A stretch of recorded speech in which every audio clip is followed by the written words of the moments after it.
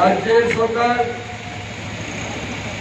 ইচ্ছাকৃতভাবে বেসরকারীকরণ করার জন্য ত্রিপুরা রাজ্যের যে পাঁচটি সাব ডিভিশনকে হস্তান্তর করেছেন, সেই সাব ডিভিশনের মধ্যে কৈলাসরের সাব ডিভিশন সাই কোম্পানির কাছে হস্তান্তর করা হয়েছে। সেখানে স্টাফের অপূর্ণতা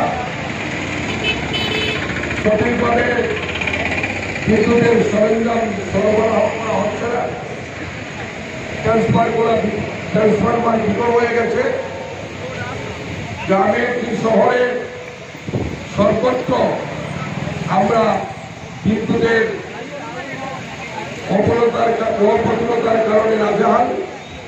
তাই আমাদের আজকের অন্যতম দাবি, সাই কোম্পানির কাছ থেকে সেটা হস্তান্তর করে ত্রিপুরা নিগমের কাছে হস্তান্তর করতে হবে।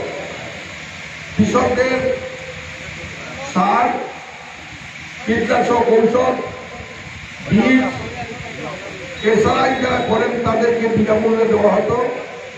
কিন্তু বর্তমানে সমস্ত কৃষকদের যে বীজ, কীটনাশক ঔষধ সরবরাহ করা সেটা বন্ধ হয়ে গেছে?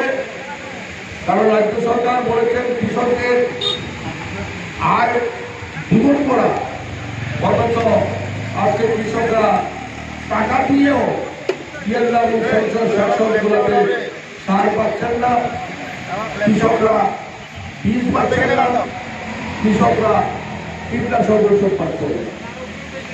প্রধানমন্ত্রী সড়ক উন্নয়ন যোজনার মাধ্যমে কৈলাসরের পুরাতন